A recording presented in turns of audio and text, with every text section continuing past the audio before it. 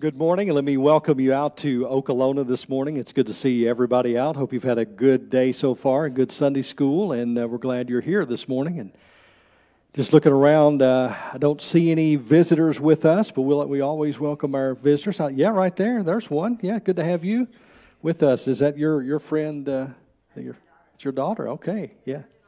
I'm sorry. You're the original, the original. All right, we like to have originals here with us, so we we appreciate we appreciate that very much. So, well, I want to let you know something. We have a guest up top this morning. Dustin Wesley's here from Pro Sound, and as you all know, for several weeks we've been trying to get our sound system. We have a new sound system up there. We've been trying to tweak it, get it worked out. We made some some advancements this morning. You don't hear a buzz this morning, right?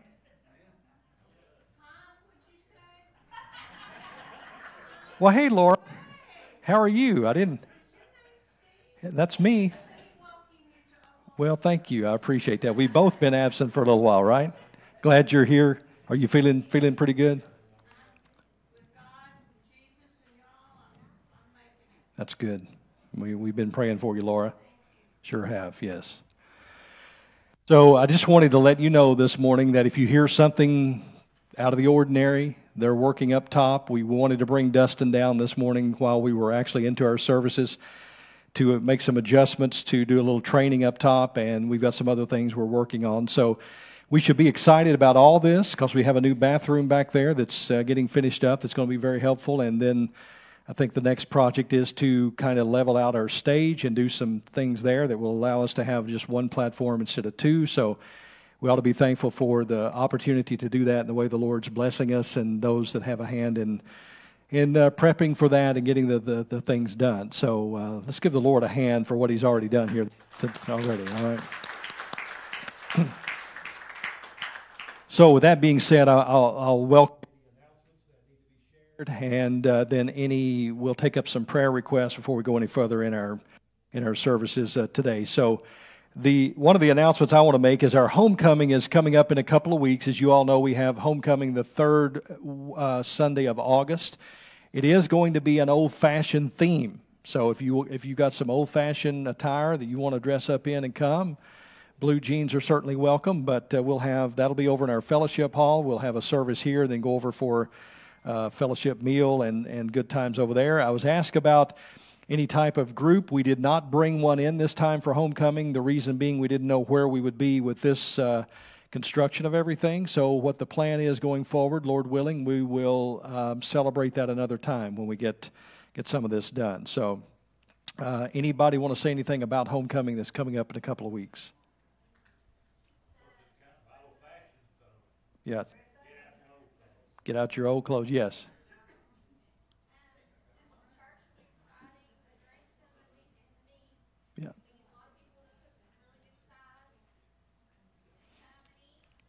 Church providing the drinks and meat, and you have to bring the rest.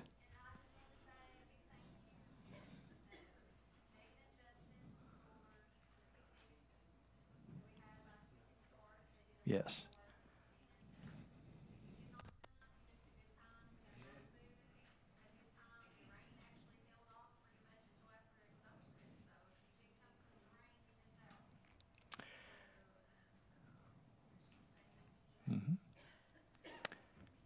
Yes, church at the park last week was a lot of fun. Uh, I know a lot of people got wet.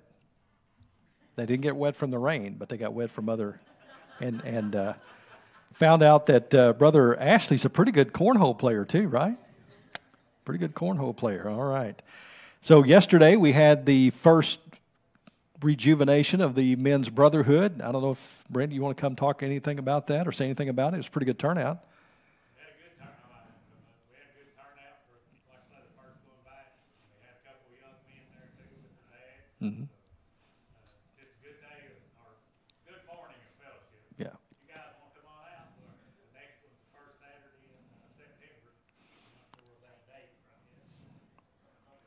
Yeah, one of the one of the goals of, of men's brotherhood really is to encourage men and for us to get together and um, you know have a good time, but uh, but also um, get a devotion. We had a good uh, devotion yesterday and then also to identify any needs that our church might be able to help with, that the men might be able to help with. So we're, we're asking you all this morning, on, Brent, I'm going to say this on behalf of you guys, but if there's anybody that has a need, you know, whatever that is, if, it, if it's some, a yard needs to be mowed, something done to a house, whatever the need might be, uh, please let us know so we can be a minister uh, in the community from this church through the men's brotherhood program. So don't be shy about bringing that up. Let's let's uh, go out and help those that stand in need. All right. Um, I do want to say that our youth is meeting again on Wednesday nights over in the fellowship hall. So if you are here and you have a young one and they want to come out and be a part of that, uh, we want to certainly make you welcome to come out on Wednesday nights. So, any other announcements that we want to share this morning?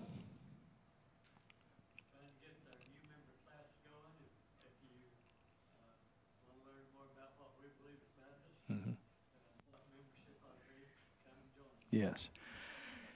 Yes, for those new converts and new folks that are coming into our church, the um, new believers class that Brother Ashley is conducting. That's that's important. Ask that you come and be in attendance for that. So, um, any other things? And then we're going to move into our prayer request today. Okay, so I do want to say, Laura, it's good to see you here. We've been praying for you, and I had some others here. John Wayne, uh, you're continue to be on our prayer list. I know you've been going through some things with your hands, right? And we want to certainly continue to lift you up.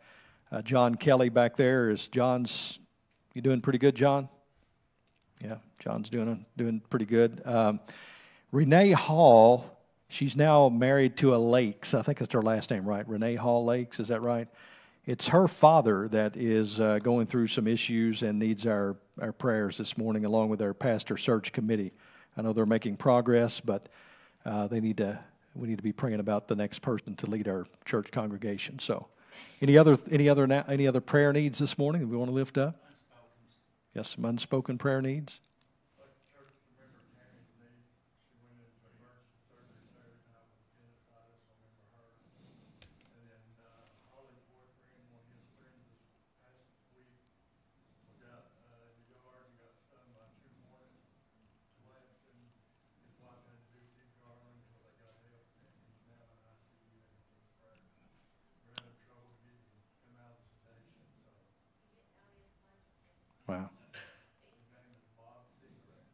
Bob Seagrass. It's interesting how just some little, we think they're little, but they pack a powerful punch can cause our systems to kind of react like that, right? Let's be much in need. Good to see uh, everybody here this morning. I'm going to ask uh, Brent, would you care to lead us in prayer this morning remember these prayer needs? Thank you.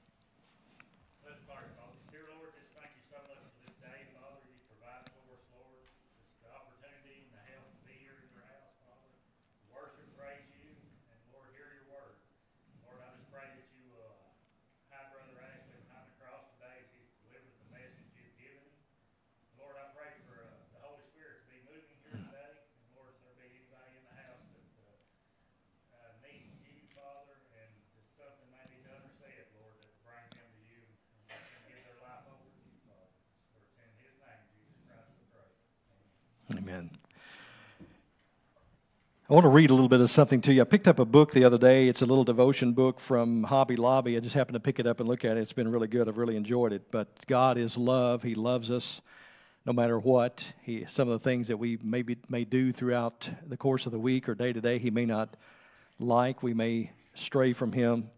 But we know that uh, just asking forgiveness and coming back to, to Him, He is uh, willing to take us back in and restore us.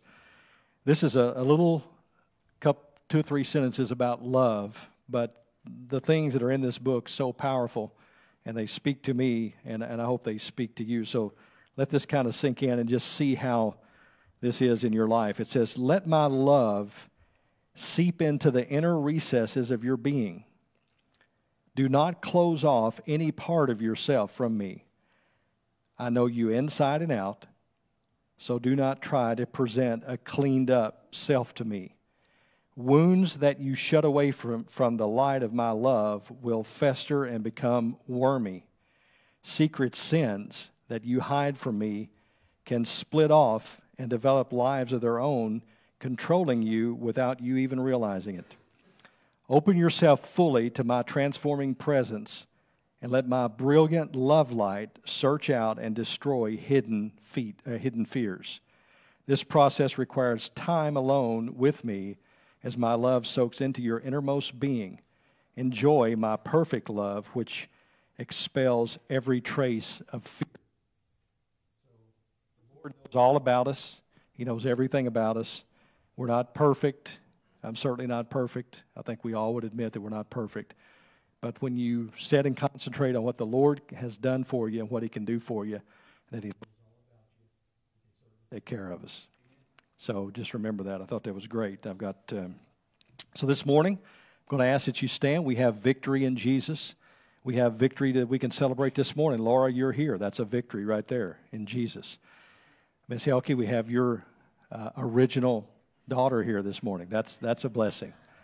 And we have others that I know have been going through things, and the Lord has brought you through it, and, and it's victorious. And one day we won't have to worry about any of that stuff because we're going to be with Him, and things will be made, made perfect. But let's sing about His victory this morning. You know this song very well Victory in Jesus, number 475, if you want to follow along there as we worship today.